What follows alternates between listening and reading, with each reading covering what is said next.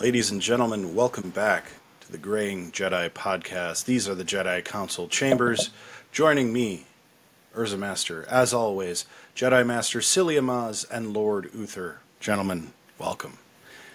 We embark once again on a journey with The Mandalorian. In this week's episode, the Mines of Mandalore were reunited with another familiar face who joins the episode quite predominantly, and we get to see Jawas. So, I'm going to throw this one over to Jedi Master Psyllium Maas because I think there's a, there's a lot to talk about here. So, Psyllium Maas, enlighten us. Thank you, Jedi Master Urza Master. Thank you, Jedi Master Lord Uther. And thanks, Graying Jedi fans, as we continue our journey through Season 3 of The Mandalorian. Uh, this is Chapter 18, for those of you keeping score at home. Uh, the Mines of Mandalore, and it first aired on March 8th, 2023. Our director is actually a cinematographer by trade, uh, but what she really wanted to do was direct. Uh, Rachel Morrison. She was the first woman to earn an Academy Award nomination for cinematography for her work on the 2017 film Mudbound, which not a lot of people saw because it was actually shot for uh, Netflix. This is in the wild, wild west days of, of streaming and so forth, pre pandemic, but the picture had a limited theatrical release and then made most of its hay on the, the streamer, who at that time was branching out from merely acquiring content and was starting to produce its own, like Stranger Things and Emily in Paris and, and all those fun shows you like to tune into. Uh, but Mudbound earned Rachel Morrison. Uh, she was the first woman in Hollywood history to be able to be nominated as a cinematographer. Uh, before and after that accomplishment, uh, she worked with uh, Ryan Coogler. Uh, she did the well received 2013 film Fruitvale Station with Michael B. Jordan, which was based on the true story of a young man who was killed in a San Francisco BART uh, stop. Uh, and so the film explored sort of the racial divide and uneven uh, asymmetry in Oakland, California. So she shot that for Ryan, and then she also shot the original Black Panther in 2018. so she has worked with Ryan uh, in and out of the MCU. Uh, and of course, the writer is showrunner, producer, director Jon Favreau. Who else uh, would give us uh, such a such an episode? I'm sure that Dave Filoni uh, helped uh, because this one is steeped in Mandalorian lore and some of it taken directly from Filoni's animated works, Star Wars Rebels and the Clone Wars. Uh, and we had a couple of familiar faces joining Din Djarin and, and Grogu this week. Uh, it looks like Bo Katan Kryze, played by the uh, inimitable Katee Sackhoff, is going to be hanging around season three. So much so that uh, she might have been added to the regular cast if this was Law and Order or ER or so forth. Uh, but she's definitely not just a flash in the pan guest star cameo. Uh, she's got some business to take care of, and, and we welcome her for it. Uh, and Amy Sedaris, who is just dropping in for guest star bits, uh, returns as Tatooine uh, fixer Peli Motto. and I loved uh, I love the little scam. It on the surface fairly obvious, but I love the scam of forcing customers to pay for repairs that the Jawas themselves have caused the mischief. Uh, the old bait and switch at the uh, car repair shop. Uh, it never gets old, and it was clever here to see it. All right, hurry up before he gets back. Put those parts back in, et cetera, et cetera. So. Uh, you know, if if Amy Sedaris had her own spin-off show, I don't know uh, how invested one might be in, in 30 minutes of, of repairing pod racers and starships, all that tomfoolery. But in small doses, it, it works very well. Uh, and she comes through as an as eccentric but likable supporting character. And we had Boonta Eve, uh, first referenced in The Phantom Menace Obviously, it's not just a pod race, uh, but it's a week of celebrations, dazzling fireworks, and that's one of uh, the series, not just the seasons, but the series' best visuals, having the Naboo N1 starfighter rising off into the night sky, surrounded by incandescent uh, explosions of light and color. Uh, that was really, really uh, a strong visual in a series that, that specializes in it.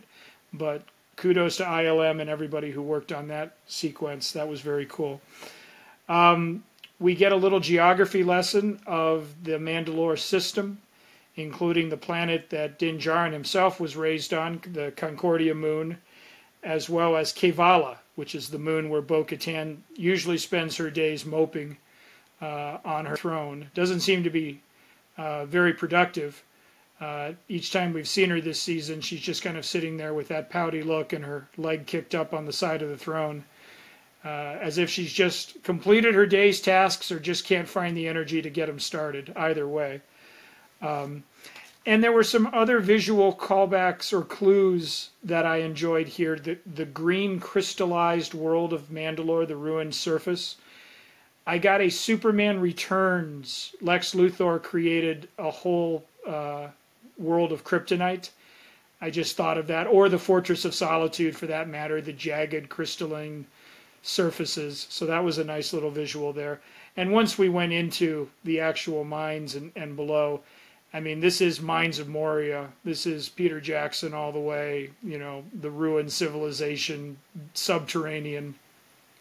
So at no point did I think that Star Wars uh, in these contexts was sort of you know getting lazy and just riff you know riffing on existing material it actually just made it it gave me a quick frame of reference and i'm just like yeah okay that's cool um, and this episode quite honestly it's not that a lot happens but it's a lot of atmosphere. And maybe that's befitting a director who works as a cinematographer.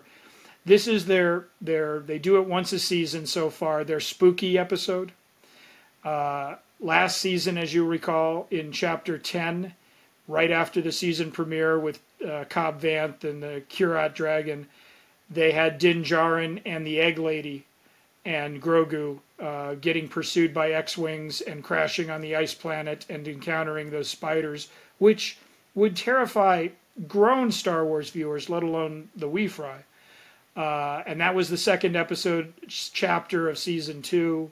Uh, we talked about it here on the on the old uh, Warp Core 24, um, and this is the second episode of season three, and we have we have some spooky stuff, right? We have cave dwellers, uh, you know, straight out of Land of the Lost, giving our heroes a, a hard time, uh, and we have this evil spider thing creature, you know, with a with a cyclopean eye uh, reminded me of, of Flash Gordon when Flash is running around Arboria and gets swallowed by the the swamp spider briefly before Prince Barin uh, rescues him.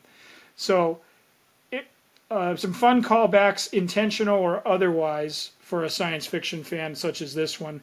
But again, in terms of like moving the plot forward, really the episode is all about you know returning to Mandalore, establishing the look, the the shadows, the creepy crevices and so forth, getting through various obstacles. I know that Lord Uther and Urza Master do a lot of gaming from time to time. So this had the the feel of you know clearing levels and you know getting from point A to point B to point C and so forth. You know, fulfill your quests, if you will. Uh, getting us to our destination, which is the the waters, the living waters beneath the mines.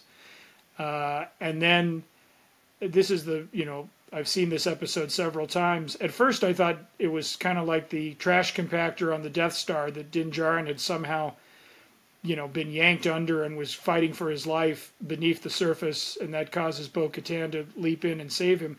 But no, he just he just took a, a step and was like, "Whoops," and then just plummeted a long, long, long way down. And she still had to go and rescue him but it was more of a of a klutzy move rather than anything sinister beneath the waves, like trying to like you know eat him or so forth. It just he's I'm walking, I'm, I'm getting baptized. I feel, whoa, watch that step. Uh, and for someone who is refreshingly secular and not very into the the Din Djarin "This is the way" creed, uh, we give a a test of faith with Bo, as she maybe perhaps glimpses the uh, fabled mythosaur, which is a, a keystone of their religion. I mean, it would be like a modern day pilgrim seeing a religious figure or a burning bush or some sign of the hereafter and having to wrestle with that right away. Did I just see that? Does that make any sense in my ordered universe? How does that change my belief system? You know, does it do so instantly? Does it do I have to like, you know, ponder it? And we'll get answers to those questions during this season with Bo Katan later. But it's a great it's a great cliffhanger to end the episode on, uh, for certain. And you know, this is a painful homecoming, and I think rewatching this, I think that comes through a lot in katee Sackhoff's performance. It doesn't just become moping. You see, there's a level of sadness as she sees this once great civilization that she and her family were the leaders of, and which flourished. You know, Mandalore was not portrayed in the animated series, uh, you know, exclusively as a warlike, bounty hunting you know, let's conquer the galaxy and here's our home base. I mean, they had, you know, culture and music and literature and law and gardens. And, and it was, again, it was a place that you'd want to raise a family in. And now it's been razed uh, to destruction uh, by the cruel callousness of the totalitarian uh, imperial state. And so, even if the show doesn't spend 40 minutes, you know, facing that, you know, with with sort of on the nose. You, it, it's suggested, and we it's ellipsed, and we can get it, and it comes through very well, as well as that split between, do I believe? I mean, for Din Djarin, this is it. It doesn't matter what obstacles are in his way; he's got to get to the waters. It doesn't matter. In fact, he says to Bo-Katan, "You can just, you know, I don't even have a ship, but I don't care. You know, I, you don't need to wait around for me. I'm going down there." And she's like, fine, I'll take you. It's just a bunch of water until it's not. Uh, so I thought all of that came through very well. So, as an episode where it was full of galactic exposition or things like that, we'll get episodes like that coming forward in this season. But this one was all about the chills. It would have fit right in if it had aired in October instead of March. Uh, and it just really kind of gave you that sort of creepy, you know, turn on the the camera lights and, and don't pick that helmet up. It's a trap. Uh, so, what did you guys think as we spelunked into the mines of Mandalore?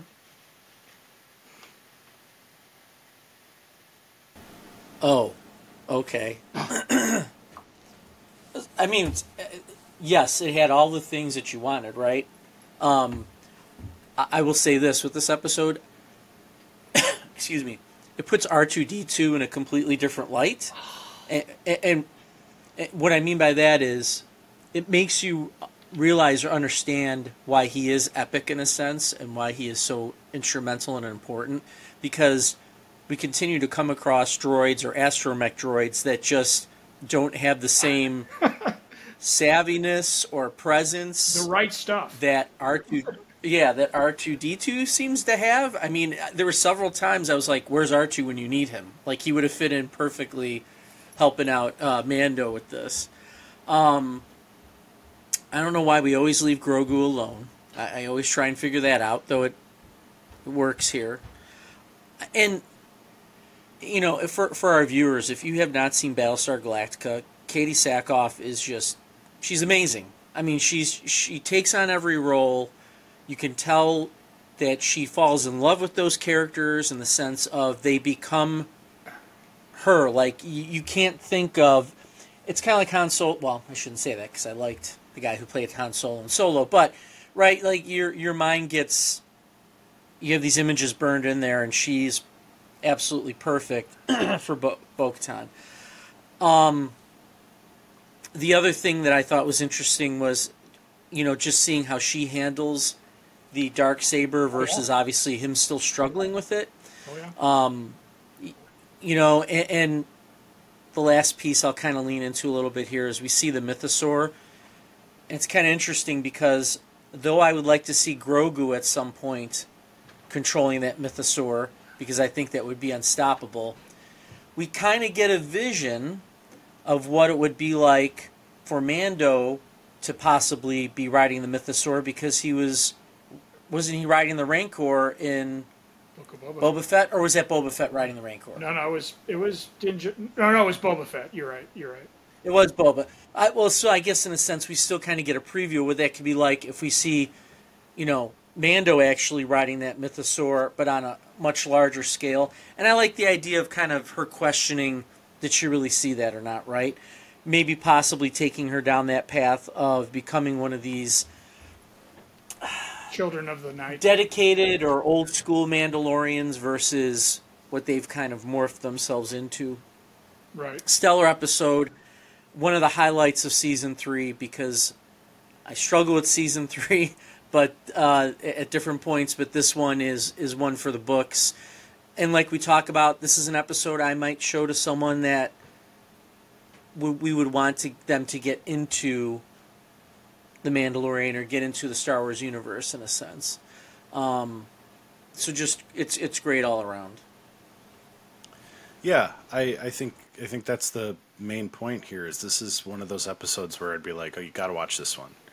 Um, it's and it's not like it's action action packed like some of the episodes of Ahsoka where it's like, oh, that, that was cool. This is more of a this really invests you in the story of the Mandalorians, um, and that you get a sense that you know because they talk about Mandalore for forever and now you've seen it, and it's like, wow, this there's a lot of mystery here. Um, and to build mystery into Star Wars is hard to do, frankly, because most planets are just they're just there for the Jedi to run around in, right? Um, you know, but this has some real mythos. It has some real history. It has all these weird things going on. It's got the uh, alien uh, looking, uh, you know, the the. um cave dwelling type creatures that look like the blue aliens from the time machine on, on steroids. Um, and and Bo Katan with the dark saber, I mean, just feels right, and it just looks great. Um, so I, I don't know. It, it makes me wonder where the series is heading with with Bo Katan and with um, Mando and Grogu, just because this is the first episode where I think I, I, I watched it and I was like, man, I don't I, like. Are they gonna bring back Mandalore, or is this gonna morph into something completely different that I'm not even aware of? And that's that's the coolest thing about this episode. And about any of these episodes that are, I think, truly successful, it's how do you craft something in the Star Wars universe where you don't really know what's going to happen next? I really don't know how this is going to fit into the greater canon. Um, like with D23 happening this week and the new Mandalorian and Grogu trailer dropping, um, if some of you have seen the bootleg out there, I'd like to wait for the quality one, but who am I kidding? I had to watch it. Um, you know, even that, I still really don't know where they're headed. I mean, that looks like it could just be a like a Star Trek motion picture, you know, where it's one really long Mandalorian episode, which would be awesome, totally great. Um, or is it, you know, more of a Tron Ares type deal where it's kind of a soft reboot of the Mandalorian, and it's going to connect it to this bigger universe, like we've been talking uh, with Ahsoka and with Skeleton Crew, and that that would be excellent as well. But quite frankly, it could go either way. Um, very, very exciting. Um, this episode specifically just introduces you to a lot of those non Empire threats that exist in this universe, like random big spider robot aliens. Drain your We've blood. never seen one in Star Wars before. Why not? It, it and it was great. Um, you know, it puts Din Djarin in a really like vulnerable position, which we haven't really seen thus far. Um, and the fact that Bo Katan kind of has to take care of him, she has to become a different type of leader in this episode, and that I think is the theme that they're setting up for this season is that you know these characters have to change and adapt and become greater than what they are. And that's why she's in a malaise in her castle i think is because she's stuck in that way of like this is who i am but she needs to grow. And maybe being bathed and cleansed in the waters of lake minnetonka is what she, needed so I, I I truly I had a great time watching this episode, um, and it really wasn't. The scope was very narrow. Is another odd thing for Star Wars. Is like this is a very not quite ship in a bottle type episode, but it's it's super narrow. You know, like you're in one basic location the entire time. I mean, not you know, hundred percent of the way, but enough to where it's like you feel like you're spelunking with them and and encountering this odd, you know, subterranean world of Mandalore that it's like, is this, what was this like? It was the big question, you know, before the bombs. You know, what was, what, how did this society function? Because it, it reminds me a bit of um, Rings of Power, where we finally get to see the dwarven city under the mountain, and it's thriving, and there's artifice going on, and you know, there's these big like dining halls where the, you know the dwarf kings live, and Elrond is there, and you get to see all these like caverns and you know mithril being mined. Awesome. I mean, just tremendous. Like to see something you'd only heard about or seen like glimpses of in the Lord of the Rings, and now with Mandalore, we're getting the same thing. We're we're sort of seeing the glimpses of what this is really makes me wonder what this was. And that's, look, I mean, Disney's going to make money on Star Wars for forever. That is something they could explore. The Mandalorian War. You know, that would be outstanding. I mean, to see the Empire versus Mandalore, that's a trilogy all on its own. I mean, we know how it ends, but who cares? Strange New Worlds is doing it. We know how Captain Pike's story ends. Uh, unless they do some sort of alternate universe switcheroo uh, which, to be honest, I'm kind of here for. Like, I, I could see this being like a, an interesting alternate timeline type deal, but they don't have to. They literally could end it the way we know it's going to end, and I'd be like, all right, I'm good. Like that was awesome. so, In, now you're making me think. Well, I have two questions for you guys, but I'm going to go back to this real quick because I think it's a great point. Stranger Worlds almost throws it in our face that you know what's going to happen to Pike in the first episode. Like, this is what happens, in a sense. And we're telling you that we know that you know this is what happens. And look what we're going to do anyway. Which is, again, just makes that series even better. All right, two questions.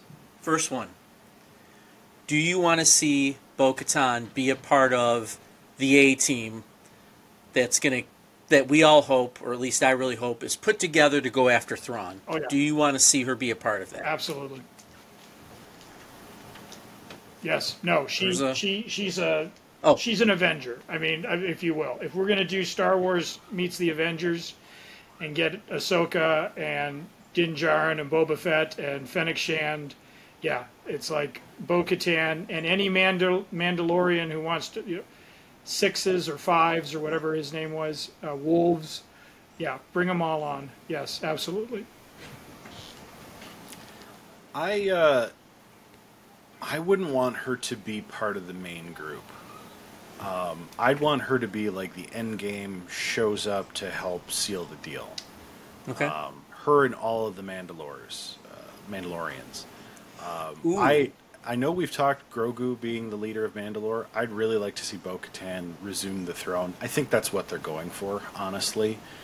Um, I would love to see her and a renewed Mandalorian like core force show up in a battle against maybe not Thrawn directly. I could see Thrawn being involved because I think the Thrawn is really a trilogy. I think I think the natural culmination of what we're getting right now it would be against Moff Gideon, and the defeat of Moff Gideon would be your first movie, and then the retaliation would be your second movie. You know, it's the the same formula as the original trilogy. Uh, I think that would be great, frankly. Do all right. Do you want to see this become an MCU thing because that's kind of what we're leaning into a little bit here, where all these separate shows or movies are they going to come together for a Thrawn trilogy, or is that what you want to see? So we can either play the prediction game, or we can play the what what do you want to see? I don't. It's up to you guys. Like, what do you want? What do you want to see happen? I'd love to see an MCU style collab. I, I think that's very successful, and for the reasons we're all too, you know, uh, proud of ourselves to admit. We just we love fan service. We, all fans do. I, I loved seeing the crew come together in Endgame and Infinity War. You know, I just don't want to see anybody get reduced to just a bit part who has earned a bigger part. Like Bo Katan, I think could be, you know, not quite the savior of the story, but make you know be the tide turner and, and step up and take you know a, a, bigger role in like a second and maybe a third movie. Um, but I, I do think that there are some bit players that you know could come in and, and be their same bit playing characters like uh, Amy Sedaris' character. I think would be great to see in an ensemble movie. You know, after a you know a ship to ship battle to start the movie or something and now they're all on Tatooine and they have to sort of regroup and figure out what their next move is. And then all of a sudden, you know, Thrawn shows up at Tatooine. Um, that'd be great. I mean, that that would be awesome. I do think that the one thing you might run into is budget constraints, and I hate to say it as such, but I, I think that's just the reality of some of these films. Like, it, it would be awesome, awesome, awesome to see all these folks coming together. But I feel like you're only going to be able to pay so much money. And I don't think we're going to see a billion dollar budget for a Star Wars movie again. I just don't think that's going to happen. I'm gonna I'm gonna make go ahead. Or, I think uh, I Psyllium Maas because I have one more point to make after to your yeah to your to your thing about team ups. I mean, comic book fans worldwide and for many generations have thrilled when Superman and Spider Man crossed over entire publishing yeah. arms and got together. And how many times did Reed Richards and the Fantastic Four team up with the X Men or Iron Fist uh, and Power Man? Or, I mean, team ups are what this whole enterprise has been built on, you know, so to speak. So yes, enterprise. I think it's inevitable that we get that. But I think to Jedi Master Urza Master's point, you know, you don't want to just see Ahsoka, you know, pop in for a two scene bit, you know, do some do some quick, you know, laughs with with Jude Law from Skeleton Crew, turn on a lightsaber, slash a few things, and then you know she's out, because we've spent time with Ahsoka and, and getting to know her character and so forth. So yes, it's the ability to try and parcel out, you know, who's who's going to be the singular focus of this proposed Mandoverse trilogy or or films or series of films whose whose point of view are we following? Because they're you know just like the Star Trek features, it was always the big three, and then everything else kind of branched out. And if we have to reduce some of these characters to slightly smaller roles, how do we still get invested? How did the people who support Ahsoka and Jude Law and his unnamed Jedi character, how do they get their money's worth without feeling like, oh yeah, uh, you know, they just popped in you know, for their think think of how they handled Worf in First Contact. He'd already split to go to another television show, and they worked him back in, and he had a great, uh, you know, one-on-one with Picard. You know, get off of my bridge. Um, that's that's the right way to do it, and it's been done before successfully. And I'm sure Favreau and Filoni have, have got their uh, have got their instincts to to follow. Uh, but that's what you're looking for is is a, a nice so great we we need great writing yes. is what we're getting at. Got it. Okay last question and then i'll i'll stop. Or maybe it's a thought or you know what tell me what you think about this. I i'm obviously so focused on the idea of having three movies with Thrawn. If that was to happen and i think we've all kind of alluded to that. That's something we like to see. So let's pretend it happens. I, I'm going to make a statement that I think it could be one of the most pivotal trilogies or one of the most pivotal sets of movies that we've seen come out of the Star Wars universe because if it's written correctly, it could change, which is what we're kind of leaning into with Ahsoka a little bit. It could change the path of Star Wars. Maybe not change it. How about this? Um, just take it in a new direction, which to me isn't change. I think those are two different things. So, thoughts on that, and then I'll stop talking. Well, yeah, I mean, th- this takes place after Return of the Jedi and before the sequel trilogy, and some people, you know, would just prefer that the sequel trilogy uh, disappear into the multiverse. That that's not going to happen.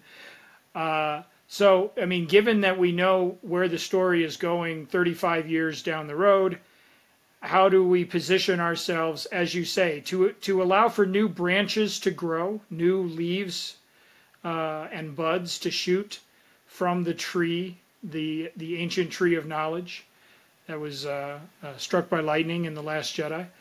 Um, how do we allow for that room to grow, and can that give the people who are going to f- follow the sequel trilogy with our new Rey movie and so forth, how will they say, you know what? Here's an interesting place we can go, and I think we've been shown the way.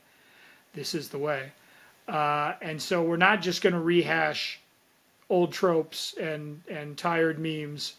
Uh, we are going to try something different with this new Jedi Academy and the challenges that Rey faces, for example, in, in setting it. It's not just going to be, well, you know, Luke had trouble with one of his star pupils and it all went to hell. Uh, how do we tell an interesting, unusual tale of that? You know, st- how do you actually start a Jedi Academy? Like, again, who comes up with the lesson plans? We have teachers in the building. Um, what you know, we've seen Luke attempting to teach Grogu. We've seen Yoda attempting to teach Luke. But can you take it further? Can there be even things, you know, can there be like moral and ethical, you know, questions? You know, is it a written exam? Is it open book? I mean, let's we can really get into the the the the web of it uh, from a practical boots on the ground, you know, butts in the classroom kind of thing. Classrooms, Jedi classrooms. So there's there's a lot there, uh, and but like to your point, tell like you say, take it in a new direction. And if you have to kind of detour around the sequel trilogy for those that, that weren't a fan of that, uh, this viewer is not one of those people. But if you have to take some slight detours and side ramps and, and so forth, then have the creative freedom to do it. And and don't feel like I'm I've been pigeonholed or penciled in or boxed in by anything that has come before.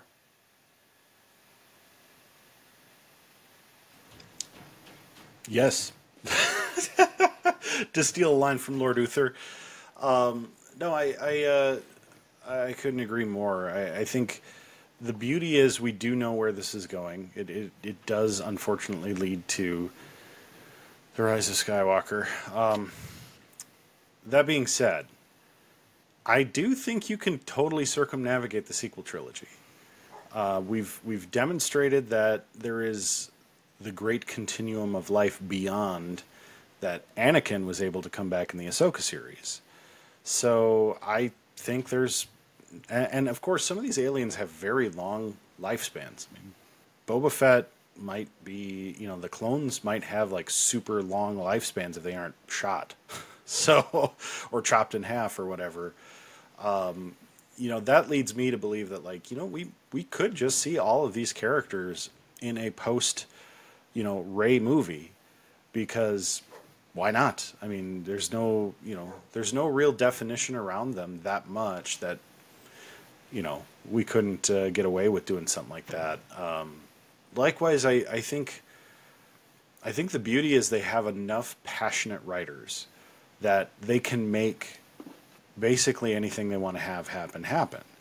Um, and you can set up a, a, future state cast like with Skeleton Crew, where you know, hey, one of these kids might be one of the you know trainees at the Jedi Academy, and and you know whatever, or a couple of them, or you know maybe that's their whole goal is like they're trying to survive, and one of them ends up being force sensitive and discovered by Luke Skywalker, and they get saved from something at the very end of the series. I, I could see that. Um, that might be exactly what happens, uh, which wouldn't be bad. I mean, honestly, that's the thing is like I that could be very cool to then bring that to a Jedi Jedi Academy miniseries or movie or whatever. Um, I think my one cautionary tale I would say is that you only have so much time left with some of the core actors that need to be in these roles. And we learned that with Baylan Skoll, unfortunately. That story, I think, is the most compelling of the Ahsoka series. And, you know, with The Mandalorian, I think I think Bo Katan's story is among the most compelling to be honest, these actors only have so many years that they're going to want to do it, and only so many years they're actually going to be able to do it, and then so many years they're able to do voiceovers like Mark Hamill with Luke Skywalker. Um, you know, not to be morbid, but he's going to die eventually. Like we all do, unless he's found the path to eternal life, like Qui Gon Jinn, um, which I hope so. But um, you know, I, I I just think that there needs to be a little urgency around rallying together this hodgepodge crew that's going to make this big trilogy or these big movies, um, and not. This is going to sound bad. I don't mean it to sound negative, but not waste time on a Rey series where Rey's Daisy Ridley's pretty young. We've got plenty of years left with her to make that series happen and make it truly exceptional. Some of these other actors, you know, they're already in their 40s. You know, so we you know, in 20 years, we're not likely to be making a Bo Katan series. I, I mean, unless, you know, it's Bo Katan at the helm and then a bunch of young people are actually doing the work. Um, I, I, think about some of the uh, great action heroes of the 80s who would make awesome cameos in Star Trek. But look at uh, like Jean Claude Van Damme. Amazing and double impact. But nowadays, still great in the movies he does, but he's in them for like 11 minutes. And the rest of the movie is an hour and 50 minutes of bit players and young people you've never heard of. Some of them are good, some of them are not good. uh, some of them, it's the best 11 minutes of the movie. Um, so I, you know, I just don't want to see it get boiled down to something like that for Star Wars, where it's like, we need to make an Ahsoka series uh, movie, but Rosario Dawson is 70 and you know, she can only get into like 30 minutes of, of, a, of a two and a half hour long movie. Like, mm, that's not going to work for me. Right. Not if it's an Ahsoka movie. Now, if it's a Ahsoka comes back as a Force ghost, you know, and, and talks to a Padawan 50 years in the future, cool. I think that'd be great. But I digress. We have Kyber crystals to give to this season three, episode two of The Mandalorian a rating. And gentlemen, if I may, I I have no visual aid today. Uh, I'm going to give this one a green. Uh, I really enjoyed this episode, especially the first time I watched it. It's the first time we see Mando in a very compromised position and needing to be saved.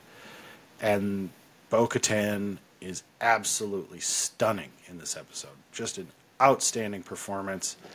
Not to mention the fact she comes across as almost I want to say maternal, but it's almost like a vague love interest pitch where she's sort of taking care of Din Djarin. She's kind of like, You've never had this soup before? My goodness. Let me make you more soup.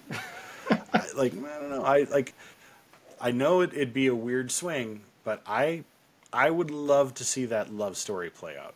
Maybe because I really enjoy Bo Katan, but at the same time, I think it would be cool. I think Grogu would kind of fit right into that as like their their child sort of situation.